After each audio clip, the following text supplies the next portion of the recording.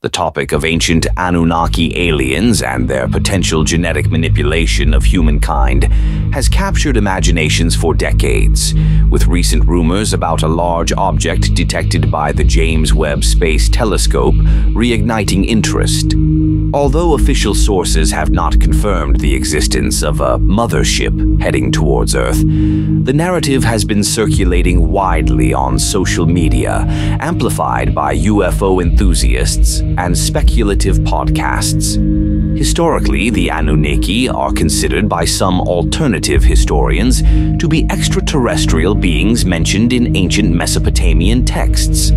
The theory suggests that these beings genetically modified early humans, possibly creating Homo sapiens as a labor force or to serve other enigmatic purposes. The notion ties into the belief that advanced alien civilizations may have intervened in Earth's development, aligning with the popular ancient astronaut theory, which posits that early gods and prophets, such as Jesus, Yeshua, might have been extraterrestrial visitors.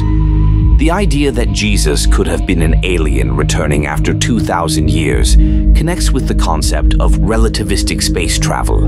What seems like two millennia on Earth might only be a brief journey for beings using faster-than-light propulsion. This concept blends modern physics with metaphysical speculation, suggesting that religious events, including the concept of heaven, could be interpreted as interactions with alien spacecraft. Although the claim of a mothership detected by the James Webb Telescope lacks credible scientific backing, the Pentagon and certain scientists like Avi Loeb have entertained the idea that alien craft might be present in the solar system. Loeb has discussed how such an extraterrestrial object could send tiny probes, similar to NASA's exploration strategies, into planetary atmospheres, though the mothership itself may not even carry live beings anymore, given the potential timescales involved. While the rumor about an incoming mothership remains unsubstantiated, it serves as a fascinating springboard for discussions about humanity's origins, future, and the possibility that religious narratives might hold extraterrestrial truths. However, it's crucial to separate speculation from confirmed facts, as official space agencies and scientific institutions have yet to verify such sightings or contact with extraterrestrial life forms. This remains a space for open imagination and cautious scientific inquiry. If you're enjoying our videos and want to see more, don't forget to like, share, and subscribe.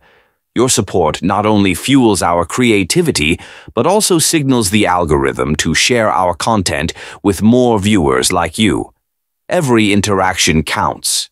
Your engagement is what keeps us growing and able to deliver even better content.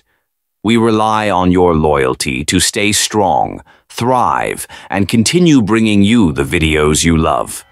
Thank you for being part of this journey.